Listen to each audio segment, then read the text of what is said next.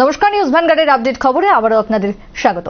যে বিষয়টির দিকে এবার নজর রাখব, উপ ডাকঘরে মূলত মেশিন নষ্ট, যার ফলে ডাকঘর পরিষেবা বসে বসে মার খাচ্ছে।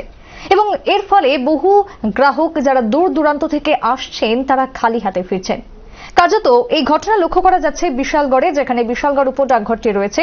সেই ডাকঘরে দুদিন ধরে হলো মেশিন নষ্ট হয়ে রয়েছে এবং ডাকঘরে যারা কর্মীরা রয়েছেন, তারা জানাচ্ছেন যে কম্পিউটারের সার্ভার ডাউন হয়ে রয়েছে।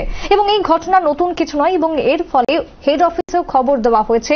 গ্রাহকরা সবাই মিলে এই বিষয়ে আরও বিভিন্ন অভিযোগ জানিয়েছেন, বিভিন্ন নালিশ জমা করেছেন এবং হেড অফিসে খবর দেওয়ার পরও এখনও অবধি সেই মেশিন সারাই করতে আসা হয়নি। তবে কি কারণে সেই মেশিন সারাই করতে আসেনি সেটা অবশ্য জানা যায়নি এখনও পর্যন্ত। তবে গ্রাহকদের তরফ থেকে যে অভিযোগ জমা পড়ছে যে শুধুমাত্র বিশালগড় এরিয়া নয়, বিশালগড়ের পাশাপাশি দূর দূরান্ত আশপাশ এলাকা বিভিন্ন জায়গা থেকে গ্রাহকরা আসছেন। সেই সমস্ত ডাকঘরে পরিষেবা নিতে। কিন্তু দীর্ঘদিন ধরে যদি দিনের পর দিন দুদিন হয়ে গেল, এখন অবধি যদি মেশিন ঠিক না হয়, এখন অবধি যদি কম্পিউটারের সার্ভার ডাউন থাকে, তাহলে তারা কি করবেন? এবং দূর দূরান্ত থেকে যেহেতু আসছেন, তাদের একদিকে যেরকম ভাবে সময় নষ্ট হচ্ছে, অন্যদিকে অনেকের অনেক দরকারি জিনিসও থাকছে। অনেকে দরকারি টাকা, পয়সা সেগুলো লেনদেন হচ্ছে না, তুলতে পারছেন না, আবার কেউ ডিপোজিট করতে পারছেন না।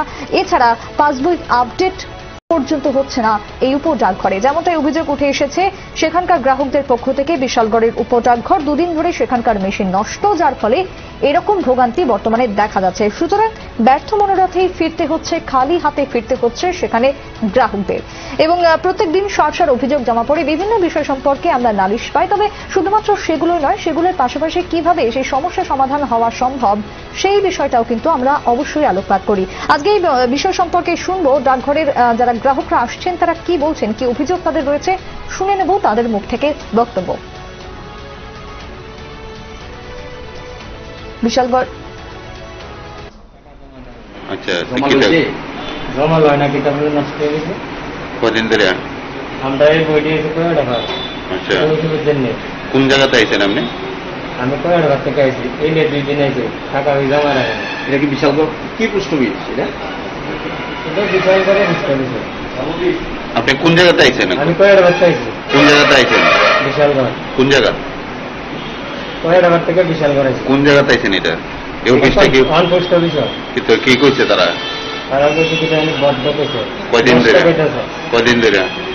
আমার কইছে আমি কইছি আরেকদিন আইছি জমা দিতাম পারছি না।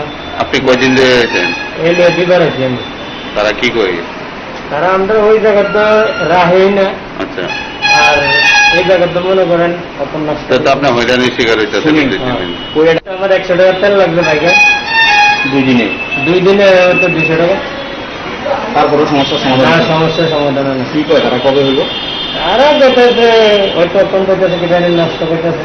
এই বর্ষা সত্য আপনার নাম কি? নকল দাস। এখন তারা কি কইছে? কয়দিন পর তো ওই কিছু করছে না আমি যেতে পারছি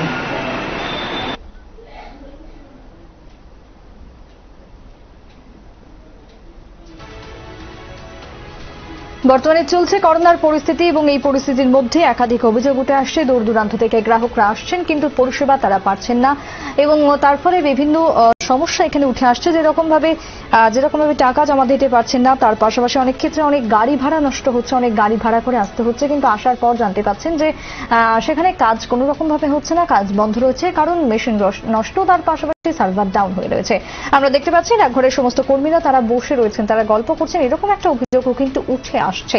এবং এ ব্যাপারে অনেকের বাইকে তেল পড়ছে, অনেক টাকা যেহেতু অনেক মানুষ রয়েছেন, করোনার মধ্যে একদিকে সব দিকে একটা নাজেহাল পরিস্থিতি সকল মানুষের পকেটে টান ধরেছে। এই পরিস্থিতির মধ্যে দাঁড়িয়েও যদি দূর দূরান্ত থেকে আসা হয় কোনো কাজের সন্ধানে, যদি টাকা তুলতে এরকম একটি দপ্তরে আসা হয়, সেখান থেকে যদি ফিরে যেতে হয়, তাহলে সাধারণ মানুষের দুর্ভোগটা চরমে গিয়ে পৌঁছচ্ছে, সেটা কিন্তু বলাই বাহুল্য। যেমনটা অভিযোগ উঠে এসেছে, কার্যত বিশালগড়ে, বিশালগড় উপ ডাকঘর থেকে।